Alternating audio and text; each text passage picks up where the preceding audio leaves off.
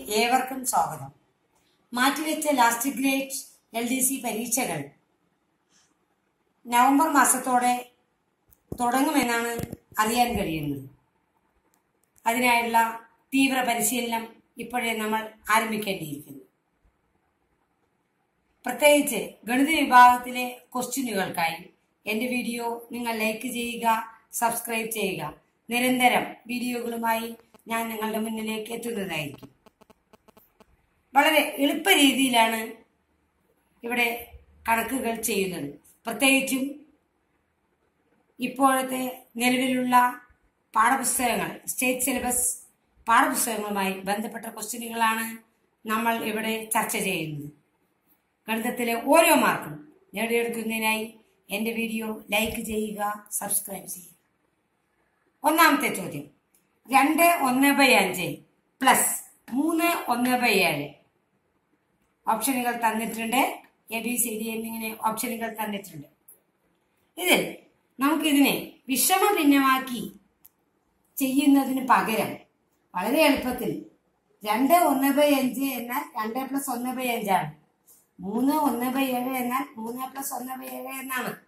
ആയതുകൊണ്ട് ഇതിനെ രണ്ട് പ്ലസ് മൂന്ന് ആദ്യം പൂർണസംഖ്യകൾ കൂട്ടുന്നു. പിന്നീട് ഭിന്നസംഖ്യകൾ കൂട്ടുന്നു. രണ്ട് പ്ലസ് മൂന്ന് പ്ലസ് ഒന്ന് ബൈ അഞ്ച് പ്ലസ് ഒന്ന് ബൈ ഏഴ് രണ്ട് പ്ലസ് മൂന്ന് അഞ്ച് പ്ലസ് ക്രോസ് ഗുണനം. ഒരു ഏഴ് പ്ലസ് ഓറഞ്ച് അഞ്ച് ബൈ മുപ്പത്തഞ്ച്. ഏഴഞ്ച് പന്ത്രണ്ട് ബൈ മുപ്പത്തഞ്ച്. ഉത്തരം അഞ്ച്. പന്ത്രണ്ട് ബൈ മുപ്പത്തഞ്ച്. ബി ഓപ്ഷനാണ് കറക്റ്റ് ആൻസർ. രണ്ടാമത്തെ question L C M of മുപ്പത് നാൽപ്പത് അറുപത് എന്നതാണ്. ലസാബ് കണ്ടുപിടിക്കുക. ഓപ്ഷൻ ഇവിടെ തന്നിട്ടുണ്ട്. നമുക്ക് മുപ്പത് നാൽപ്പത് അറുപതിന്റെ ലസാഗു കണ്ടുപിടിക്കുന്നതിനായി ആദ്യം ഡിവിഷൻ മെത്തേഡ് ഹരണക്രിയാ രീതിയിൽ ഇത് കണക്കാക്കാവുന്നതാണ്. രണ്ടു കൊണ്ടും മൂന്ന് കൊണ്ടും അഞ്ച് എന്നിങ്ങനെ അഭാജ്യ സംഖ്യകൾ കൊണ്ട് ഹരിക്കണമെന്നില്ല. എല്ലാത്തിലും മുപ്പത് നാൽപ്പത് അറുപത് മൂന്ന് സംഖ്യകളിലും പത്തിന്റെ ഗുണിതമായതുകൊണ്ട് പത്ത് കൊണ്ട് ഹരിക്കാം. അതുകൊണ്ട് പത്ത് കൊണ്ട് നമുക്ക് നേരിട്ട് പെട്ടെന്ന് ഹരിക്കുമ്പോൾ മൂന്ന് നാല് ആറ് എന്ന് കിട്ടുന്നു. വീണ്ടും എല്ലാത്തിലും പോകണമെന്നില്ല. രണ്ട് സംഖ്യകളിൽ പോയാലും മതി. അതുകൊണ്ട് ഈ മൂന്ന് ആറ് എന്നത് മൂന്നിന്റെ ഗുണിതമായതിനാൽ മൂന്ന് കൊണ്ട് മൂന്ന് മൂന്നിൽ ഒരു പ്രാവശ്യം മൂന്ന് നാലിൽ പോയി ഇറക്കിയിട്ടു മൂന്ന് ആറിൽ രണ്ട് പ്രാവശ്യം. വീണ്ടും രണ്ട് കൊണ്ട് ഹരിക്കാം. നാലിനെയും രണ്ടിനെയും ഹരിക്കാം. രണ്ടൊന്നിൽ പൂല ഇറക്കിയിട്ടു രണ്ട് നാലിൽ രണ്ട് പ്രാവശ്യം രണ്ട് രണ്ടിൽ ഒരു പ്രാവശ്യം. എൽ സി എം എന്നാൽ ഈ പുറത്തുള്ള എല്ലാ സംഖ്യകളുടെയും ഗുണനമാണ്. പുറത്തുള്ള എല്ലാ സംഖ്യകളുടെയും ഗുണനമാണ്. പത്ത് ഇന്റു മൂന്ന് ഇന്റു രണ്ട് ഇന്റു ഒന്ന് ഇന്റു രണ്ട് ഇന്റു ഒന്ന്. ആയതുകൊണ്ട് എൽ സി എം കാണുന്നതിന് പകരം വളരെ എളുപ്പത്തിൽ പത്ത് ഇന്റു മൂന്ന് മുപ്പത് രണ്ട് ഇന്റു രണ്ട് നാല് മുപ്പത് ഇന്റു നാല് നൂറ്റി ഇരുപത്. ഓപ്ഷൻ ബി ആണ് ഉത്തരം. മൂന്നാമത്തെ ക്വസ്റ്റ്യൻ നാൽപ്പത് കുട്ടികളുള്ള ഒരു ക്ലാസ്സിൽ ഇരുപത് ശതമാനം കുട്ടികൾ പരീക്ഷയ്ക്ക് തോറ്റു. എങ്കിൽ എത്ര കുട്ടികൾ ജയിച്ചു? ഇവിടെ ഓപ്ഷനുകൾ ഉത്തരം തന്നിട്ടുണ്ട്. ഇരുപത് ശതമാനം കുട്ടികൾ പരീക്ഷയ്ക്ക് തോറ്റു എന്നാണ് പറഞ്ഞിരിക്കുന്നത്. അപ്പോൾ ജയിച്ച കുട്ടികളുടെ എണ്ണം ബാക്കിയുള്ള എൺപത് ശതമാനം. തോറ്റ കുട്ടികളുടെയും ജയിച്ച കുട്ടികളുടെയും ശതമാനം രണ്ടും തുക നൂറ് ശതമാനമാണ്. ജയിച്ച കുട്ടികളുടെയും തോറ്റ കുട്ടികളുടെയും തുകയുടെ ശതമാനം നൂറാണ്.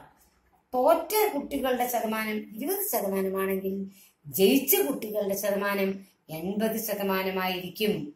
ആയതുകൊണ്ട് ജയിച്ച കുട്ടികളുടെ എണ്ണം സമം നാൽപ്പത് ഇന്റു എൺപത് ബൈ നൂറ്. നാൽപ്പതിന്റെ എൺപത് ശതമാനം നാൽപ്പത് ഇന്റു എൺപത് ബൈ നൂറ്. രണ്ട് പൂജ്യം വെട്ടിക്കളയുന്നു മുപ്പത്തിരണ്ട്. ഓപ്ഷൻ ബി ആണ്. മുപ്പത്തിരണ്ടാണ് ഉത്തരം. നാലാമത്തെ ചോദ്യം. ഇരുന്നൂറ് രൂപയ്ക്ക് രണ്ട് കൊല്ലത്തേക്ക് മൂന്ന് ശതമാനം പലിശ നിരക്ക് എങ്കിൽ പലിശ എത്ര? ഇരുന്നൂറ് രൂപയ്ക്ക് രണ്ട് കൊല്ലത്തേക്ക് മൂന്ന് ശതമാനം പലിശ നിരക്കെങ്കിൽ പലിശ എത്ര? നമുക്ക് പലിശയ സാധാരണ പലിശയും കൂട്ടുപലിശയും അറിയാം. പലിശ എന്ന് മാത്രമാണ് പറഞ്ഞതെങ്കിൽ സാധാരണ പലിശയായിട്ടാണ് എടുക്കേണ്ടത്. കൂട്ടുപലിശയാണെങ്കിൽ പ്രത്യേകിച്ച് കണക്കിൽ അത് പറയും. ഇവിടെ പലിശയാണ് കാണേണ്ടത് അതുകൊണ്ട് സാധാരണ പലിശയാണ്. സാധാരണ പലിശ കണക്കാക്കുന്നതിനുള്ള സൂത്രവാക്യം I സമാം P into N into R by നൂറ്. പി എന്നാൽ മുതൽ എൻ എന്നാൽ കാലം ആർ എന്നത് നിരക്ക്. ആയതുകൊണ്ട് പി ഇരുന്നൂറ് ഇന്റു രണ്ട് വർഷത്തേക്ക്. രണ്ട് ഇന്റു മൂന്ന് ശതമാനം. മൂന്ന് ബൈ നൂറ്. രണ്ട് പൂജ്യം വെട്ടിക്കളയുന്നു. ഈ രണ്ട് നാല്. നാല് മൂന്ന് പന്ത്രണ്ട്. ഉത്തരം പന്ത്രണ്ട്. ഓപ്ഷൻ സി ആണ് ഉത്തരം. അടുത്ത ചോദ്യം. പത്തിനും ഇരുപതിനും ഇടയ്ക്കുള്ള ഒറ്റ സംഖ്യകളുടെ തുക എത്ര? പത്തിനും ഇരുപതിനും ഇടയ്ക്കുള്ള ഒറ്റ സംഖ്യകൾ നമുക്കറിയാം. പതിനൊന്ന് പതിമൂന്ന് പതിനഞ്ച് പതിനേഴ് പത്തൊമ്പത്. ഇവയുടെ തുക കാണുന്നതിന് കുറച്ചുകൂടെ എളുപ്പത്തിൽ പതിനൊന്ന് പ്ലസ് പത്തൊമ്പത് പതിനൊന്നും പത്തൊമ്പതും കൂടെ കൂട്ടുക മുപ്പത്. പതിമൂന്നും പതിനേഴും കൂടെ കൂട്ടുക മുപ്പത് പ്ലസ് പതിനഞ്ച്. മുപ്പത് മുപ്പത് അറുപതും പത്ത് എഴുപത് എഴുപത്തഞ്ച്. ഓപ്ഷൻ എ ആണ് ഉത്തരം. അടുത്ത ചോദ്യം വർഗമൂലം കാണുക. മുപ്പത് ഇരുപത്തഞ്ച്. മൂവായിരത്തി ഇരുപത്തഞ്ചിന്റെ വർഗമൂലം എന്ത് എന്നതാണ് അടുത്ത ചോദ്യം. ഇവിടെ ഓപ്ഷനുകൾ കൊടുത്തിട്ടുണ്ട്. അമ്പത്തഞ്ച് അറുപത്തഞ്ച് എഴുപത്തഞ്ച് ഇരുപത്തഞ്ച്. ഇത് കണ്ടെത്തുന്നതിനുള്ള വളരെ എളുപ്പ വഴി എന്ന് പറയുന്നത് ഒരു സംഖ്യയുടെ വർഗമൂലം കണ്ടെത്തുന്നതിന് വലത്തുനിന്ന് അടുത്തോട്ട് രണ്ട് സംഖ്യകൾ എന്ന രീതിയിൽ ഗ്രൂപ്പാക്കി തിരിക്കുക. ഇരുപത്തഞ്ച് ഒരു ഗ്രൂപ്പ് മുപ്പത് വേറൊരു ഗ്രൂപ്പ് രണ്ട് ഗ്രൂപ്പുകൾ ഉള്ളത് കൊണ്ട് തന്നെ നമുക്കറിയാം വർഗമൂലത്തിൽ വർഗമൂലത്തിൽ രണ്ട് അക്കങ്ങളാണ് ഉള്ളത്. ആദ്യമായി ഇരുപത്തഞ്ചിന്റെ വർഗമൂലം ഇരുപത്തഞ്ചിന്റെ വർഗമൂലം അഞ്ച്. അടുത്തത് മുപ്പതിന് വർഗമൂലമില്ല. മുപ്പതിൽ താഴെയുള്ള സംഖ്യയുടെ വർഗമൂലമാണ് എഴുതുന്നത്.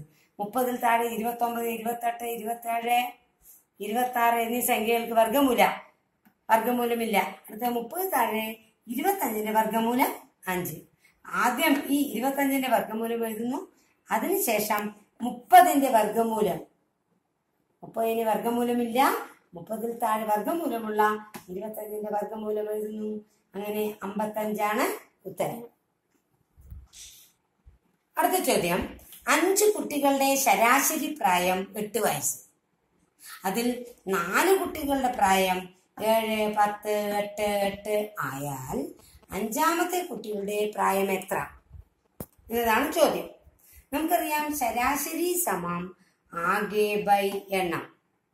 ആകെ കണക്കാക്കാൻ ഇതിൽ നിന്ന് ആകെ കണക്കാക്കാൻ ശരാശരി ഇന്റു എണ്ണം.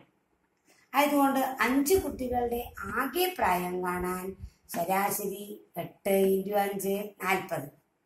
അഞ്ചാമത്തെ കുട്ടിയുടെ പ്രായം സമം ആകെ പ്രായം നാൽപ്പത് മൈനസ് ബാക്കിയുള്ള നാല് കുട്ടികളുടെ പ്രായത്തിന്റെ തുക.